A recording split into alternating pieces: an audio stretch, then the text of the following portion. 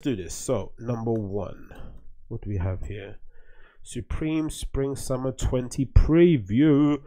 This dropped a while back ago, I think, because the is it the online release is happening to today or tomorrow, right? I think online.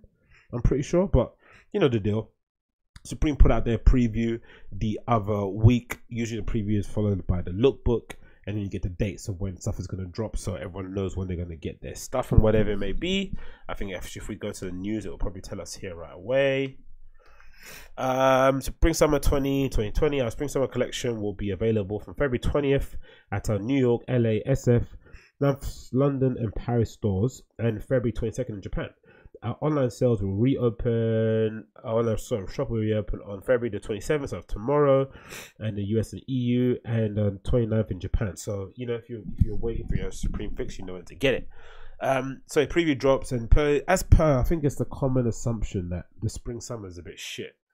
Most Supreme fans tend to prefer the full winter, and that isn't because of it's not their fault it's mostly because Supreme is catered towards a male audience, right? Male audience between the ages of like 13 and 25, I'd say. And those guys tend to, most dudes especially anyway, doesn't even those young kids tend to prefer coats and jackets. It? How many dudes or guys you know who are into fashion who own like, you know, 115 coats, but, you know, only two pairs of trousers? Quite a lot of them, innit? I used to be one of those kind of guys. Outerwear was probably my favorite piece of my wardrobe because I think maybe as a dude, That. I don't even speak for myself. I think we are. I think that's why. I think that's why people have such a visceral hatred when they see fashiony, dressed uppy guys. Because intrinsically, I think dudes don't do fashion well. I think we do style well. I don't think we do fashion well. And I mean, like fashion is a capital F, like a, like a, like this woman. What's her name? Susie Bob Bubble, right? Susie Bubble. Is it Susie Bubble? Susie Buble, Susie Bubble. Let's see if it's the right person I'm thinking about. Susie Bubble, Susie Bubble. Yeah, this is the one. This woman called Suzanne Lau. She's like a she's a is a British journalist and a blogger. She's like a fashion blogger, right? Essentially, she wears like you know crazy fashion blogger street style stuff that you know you should all well know and love, right? So this lady here, I don't think there's a male version of this. Like it doesn't exist, right? This sort of like frolly like patterns everywhere, pattern clashing, layers upon layers, jewelry uh, ornaments, all this sort of like weird kitschy stuff. It's not something that dudes do for the most part. We just do style really well. So I think if you're a guy and you have a brand like Supreme and they make really good outerwear pieces that tend to cover the majority of your body, it kind of is a bit of a cheat, in terms of style, because it's very difficult to. although I've seen it done, it's very very difficult to make Supreme or any most mostly male streetweary kind of brand look bad if they if they've got their outerwear on lock and they do the good job with the outerwear. It's very it's very it's very um hard to get those outfits wrong. So I think when it comes to spring summer, for most guys, I think it's a bit more of a challenge about making that thing work right. And again, some of the stuff is still is still really good. I think some of the button ups they do, the t shirts, the long sleeves, the hats and stuff for summer are excellent. Especially the shorts. Look, get that up there. Especially the shorts. Shorts are flipping sick. But I think I think it's probably more of a challenge to wear in general for most guys. I think people tend to like the but I quite like it. So this is their spring summer 2020 preview. Um, I quite like looking at it just via the squares and seeing what's on there. There's a few pieces on it that I actually like, so let's go through a few of them and just comment on the things that I like and don't like again. Um, it, you know, you probably won't catch me wearing a lot of stuff with the logos on it because I'm just not that age anymore. But objectively speaking, you know, this sort of like what is this uh, faux fur varsity jacket? I think is a really cool flip on the conventional varsity jacket. I think here at the bottom they don't have a it's not an elastic waistband either, so that's pretty cool. It's completely made out of this fur faux fur upper whatever that is. Um, and then you've got the nice little you know chain on here hook on the inside too. That looks really cool. So again, it's not my not my style, not something I would wear nowadays, but I can see why that would be appealing. I'm interested to know why they decided to go for the what's the deal with the script to the front instead of it being on the back. I guess maybe it's just a branding thing, right? You want because everyone's. I wonder what that is. What that decision was made, or is that just a reference piece to something from the archive? Like why there is because a lot of it recently I've seen in past seasons where they they've just instead of having the the logo on the art, you don't really there's not a lot of sleeve stuff anymore or little details on the wrist. It's all just like always plastered in front of the chest, always.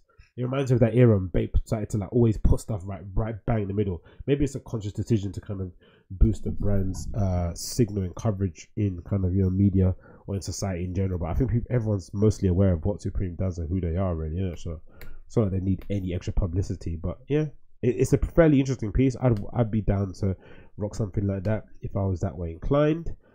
Um, this is a really cool one. I, I liked a lot. Um, I don't know who the art, who's the artwork by on the actual jacket. So it's a Gore-Tex anorak, waterproof breathable Gore-Tex two poly layer uh, shell with a embossed logo lining, zip hand pockets that lower front with zip chest pockets, Velcro tab adjustments at the cuffs, and a D-ring tab on the chest. So it, it would remind me of some sort of like old Futura thing or Rammellzee or maybe even like a stash bit of artwork. It doesn't say who the artist is. So I'm assuming something in-house or maybe something they licensed. I'm not too sure. Well, if it was licensed, would have said it. They would have gave someone credit, but I like it, man. Right the 90s era of street style from Japan and stuff, you know, an anorak half zip sort of thing you can kind of pop over Gore-Tex, so you know it'll stop the wind, make you run faster as well. That helps. um, but yeah, I think this might be one of my favorite pieces out, out of all especially the color the, the red. That's banging. It looks really, really fucking good. Be all over that. Obviously, in, in the solid colors, you could just probably keep it. Not really that interested in it, but I think the pattern, the spray pattern, looks banging. That's really one of my standouts in that so far. Then you have this. What is this? A faux suede patchwork hoodie. I can definitely pass on that one. So let's move. Um, the shirts are always great. You got a painted logo shirt. They always they fit pretty well too. I think I had a couple that I sold like Oxfords actually back in the day, and they were really really good. I think they were modeled on like Brooks Brothers cuts of Oxfords and stuff. So they usually have a really good uh, boxy, slim, boxy but slim sort of fit. And um, yeah, again, if you wanna, if you're the kind of person that can't, you know, can't see yourself wearing any other shirt apart from the Supremes, and but you want to get, you know, level up your style and get a bit mature, quote unquote, you know, you, you you're not. You want you're not gonna find a bad shirt in these ones from Supreme either. They're a bit overpriced maybe for what they are, but again, it's either you buy this or you buy like something from Uniqlo, and this is probably a bit, a bit special, so it makes complete sense. Um, loads of cool button ups as per usual from them. Oxford, you've got flannels, of course. Oh, you got one with Daniel Johnston um, uh, artwork as well. So, RIP him. That's really nice. Um, you've got this. Uh, oh, okay, nice. They've got like a. Is it a calf? I don't know what you call it. Kaftan? Was it a toggle shirt? I'm not sure. Is that a Kaftan? It's not. a Not Kaftan. What is that? With the with it's not with collarless shirt. The jacket sort of work thing. I quite like the print on this as well. This is quite nice. Oxford denim with like the words on it stitched. And yeah, some decent plaids in there. So shirts, you know, again, I think most of those shirts will probably a bit more stronger in the winter. You have the plaid and the quilted lining. You have maybe the zip the zip closure in it. So I can see why people prefer winter over spring, summer to be honest. But still, you got this nice jacket here too. This is a Supreme and Vanson's uh, levers levers letter uh, jacket. So I'm assuming it's like a motorcycle jacket. It's really stiff. The arms already bent as well. So I'm assuming there's some padding or reinforcement there on the on the elbows as well. So this will probably go for a pretty penny. I'm assuming somewhere in the thousands maybe. That'll be retail retailing at probably. But that's really cool jacket as well. And then I think I mentioned this previously, but I think um I think we might see a time, maybe in a couple of years, maybe even sooner, um, where Supreme completely stops. Not not stops, but they don't do as many North Face collaborations. Um, because they're doing a lot of these like puffy jackets in house. I remember that was the main thing I remember taking away as a little nugget from uh it's a kind of a streetwear principle though, and it? it's kind of one that one on one tips or one on one codes that uh, cheat codes people usually do in streetwear, where it's like if you can't make the particular thing that you want to make, you just collaborate or you go out and buy like you know I think back in the day it was even different than that. Maybe it's a bit more DIY you'd go and buy let's say some Tommy Hilfiger jackets right? Even though you can't make a collaboration with them you'd go buy some thing that has been discontinued. You'd make some edits of yourself. You maybe paint a sleeve add a few badges change the zips. You know you do something to make it your own and then you kind of resell it to your customers. Um, because obviously they'd want to be associated with that because they love your brand they love the kind of you know DIY aspect of it. Or the other side of it, you do an official collaboration. So Supreme, the reason why they did North Face thing was because they wanted to make their own winter jackets, but they didn't have the the means or maybe the capability to do so. So they went and went directly to the best people in the industry in North Face and kind of got them to uh, supply their manufacturing, their production on that side of things, and then Supreme come with their ideas.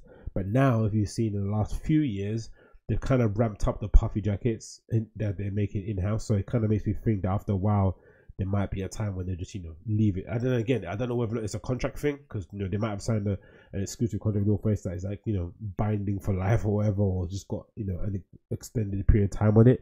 But if that contract renewal does come up, come up again, or they have to renegotiate, I could see them pulling away and just thinking, you know what, let's just keep it in house and then we won't sign an exclusivity deal. But what ends up happening that they'll end up having the opportunity to like do a collaboration with Canada Goose, do something with Arc'teryx, do something with North. You know I mean? I think that'd be it because I think at the moment now there probably is a bit of a com- non-competitive clause or something, right? So they can't do something with other brands that doing outerwear or whatever industry. So that might probably stop them from doing that. So you never know, man. But that's just an assumption I'm throwing out there. I'm not sure if this is true. Look, I don't have any inside information, as you can tell by the nature of my ramble. But yeah, I could see it happening in the near future. But yeah, I quite like this. I like I, obviously the combination of you know safety orange and bright blue is just always going to win for me. So that's a quality quality piece there. Again, just not a fan of the whole you know like screaming what you're wearing with the thing on the on the collar. It's just too much. I'd have to wear it on the other side with the blue. But yeah, I like the color combinations. Again, I think they're very underrated in this, isn't it? The selection of colors and combinations, and when not to have a contrast stitch, when to have a contrast stitch, what kind of pull tabs they use on the zips.